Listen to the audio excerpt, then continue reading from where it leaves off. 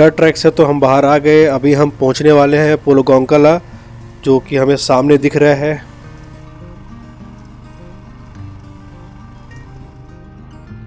तो ये है पोलो गोंकला जिसकी हाइट है अराउंड 16,000 फीट और ये पॉइंट इस रूट का सबसे हाईएस्ट पॉइंट भी है। पोलो गोंकला सोकर यहाँ से 15 किलोमीटर और बचा है। और फिर वहाँ से हम पहुँच जाएँगे पांग डेबरिंग इंटरसेक्शन जो कि मनाली ले हाईवे से जोड़ता है.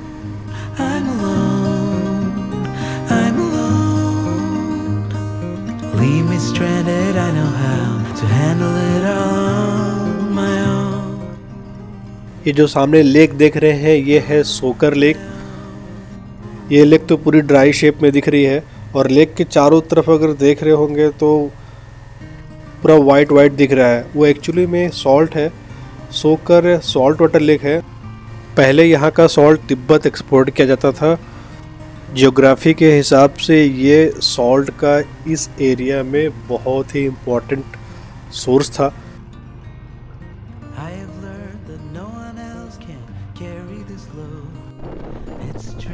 सोकर का वाटर लेवल बहुत ही अप डाउन होते रहता है। इसीलिए इसे फ्लक्चुएटिंग सॉल्ट वाटर लेक भी बोलते हैं.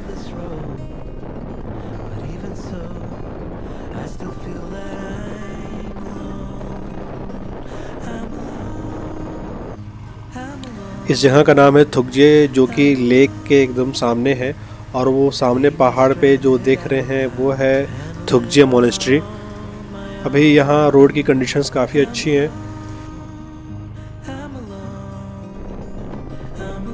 मनाली ले हाईवे अभी यहाँ से लगभग 14-15 किलोमीटर और है। अभी यहाँ से लगभग 20-25 मिनट और लगेंगे।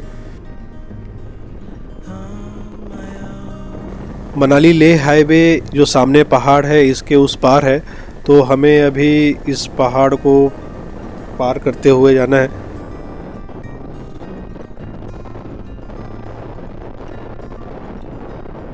फाइनली हम पहुँच गए मनाली ले हाईवे। और इस जगह को कहते हैं पांग डेबरिंग इंटरसेक्शन। पहले ये पूरा रास्ता डर ट्रैक हुआ करता था। अभी तो ये रोड पूरा ही का पूरा रेडी हो गया है। यहाँ से सरचू लगभग 115 किलोमीटर और बचा है और हम अभी क्रॉस करेंगे More plain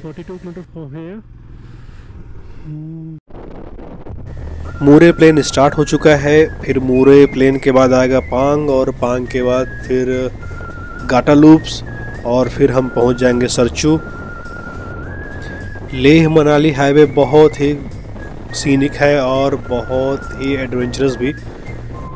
अभी मूरे प्लेन्स की रोड देख लो, उसके बाद पांग की रोड देखना, उसके बाद सरचू की रोड देखना।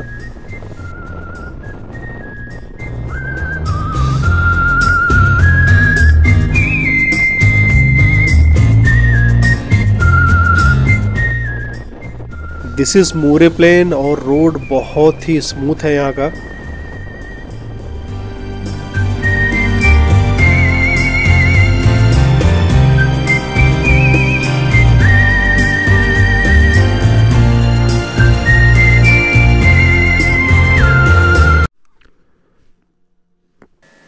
हम पांग के काफ़ी करीब हैं और ये जगह देखो, क्या दिख रहा है। अगर आपको याद होगा तो यहाँ के जो पहाड़ हैं माउंटेंस हैं, ये लामायरू की तरह दिख रहे हैं like moon land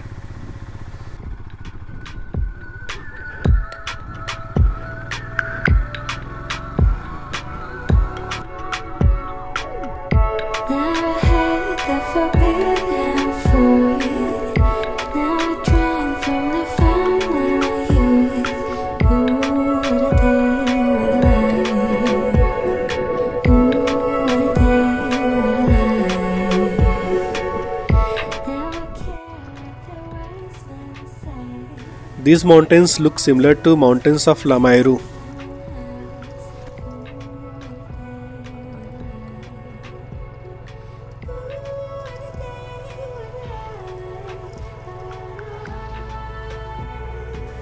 ये है पांग और हम यहाँ पे लंच करेंगे और फिर बढ़ेंगे आगे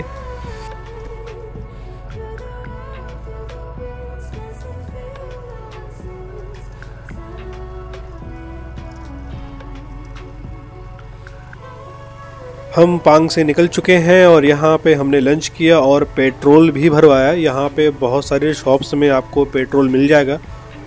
यहाँ से सरचू अराउंड 75 किलोमीटर्स और हैं और यहाँ से लगभग तीन घंटे और लगने वाले हैं। अभी तीन बज चुके हैं। इसके बाद हम अभी क्रॉस करेंगे Gata loops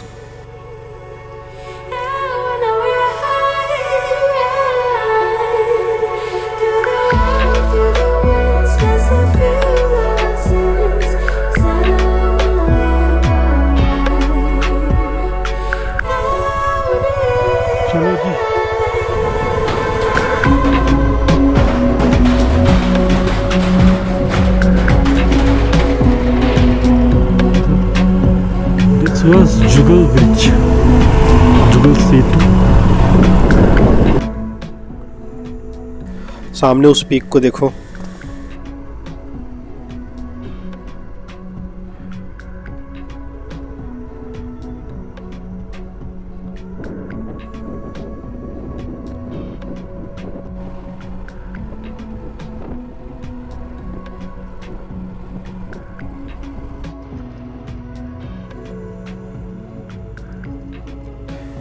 ये सामने देखो, ये है लद्दाख की वाइल्ड लाइफ ये क्या है?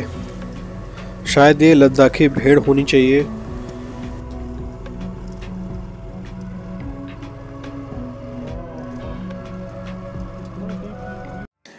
ये है ब्लू शीप इसको भराल भी बोलते हैं। वी वेयर सो लकी हमें देखने को मिला। ये यहाँ पास के स्ट्रीम में शायद पानी पीने आए थे।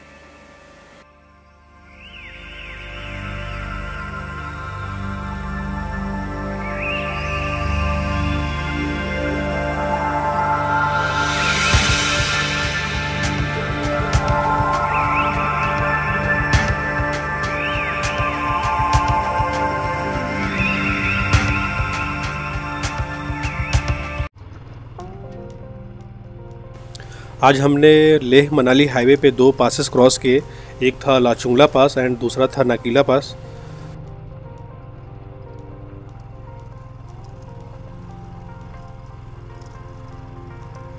गाटर लूप्स यहाँ से तीन चार किलोमीटर और बचा है। यहाँ के रोड बहुत ही खतरनाक है।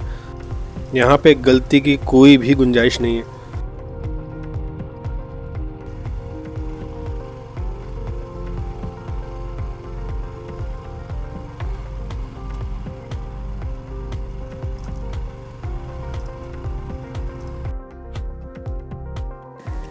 दिस इज़ गाटा लूप्स और ये 17,000 फीट हाइट पे है।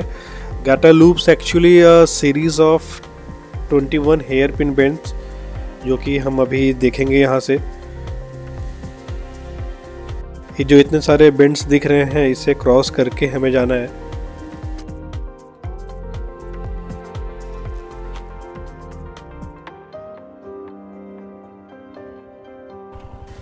ये जो इतने बॉटल्स यहाँ पे फेंके हुए हैं, यहाँ बोलते हैं लोग यहाँ पे एक घोष्ट रहता है, जिसको लोग पानी ऑफ़र करते हैं। अभी बच चुके हैं पाँच और सरचू यहाँ से लगभग तीस किलोमीटर और है तो शायद हम छः बजे तक पहुँच जाएँगे।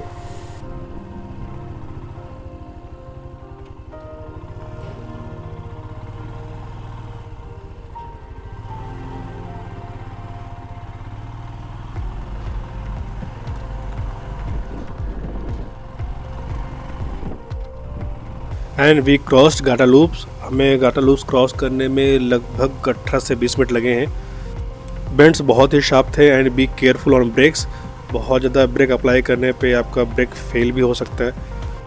ये है श्राप रिवर और ये रिवर जाती है जंस्कार तक और वहाँ पे कुछ और रिवर्स से मिलकर फॉर्म करती है जंस्कार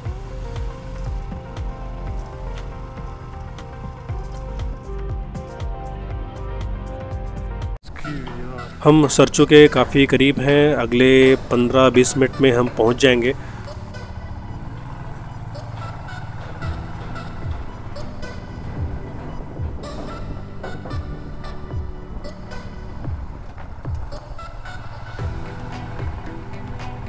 और देखते हैं वहाँ पे स्टे ऑप्शंस क्या क्या हैं।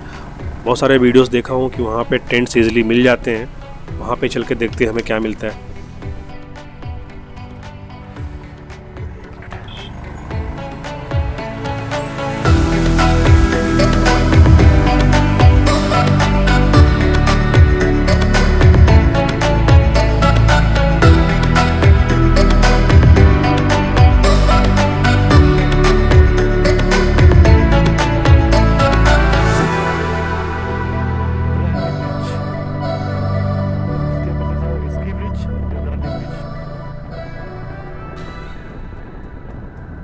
हम हैं अभी सरचू में और बज रहे हैं शाम के छः और हमें यहाँ स्टे के लिए टेंट भी मिल गया है।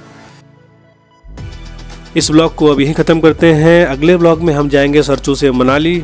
ये रूट आपको कैसा लगा कमेंट में ज़रूर बताना। ये वीडियो अगर आपको पसंद आया हो तो लाइक ज़रूर करना। चैनल पर नए हो तो सब्सक्राइब करना ना भूलना। मिलते हैं आपसे अगले ब्लॉग में।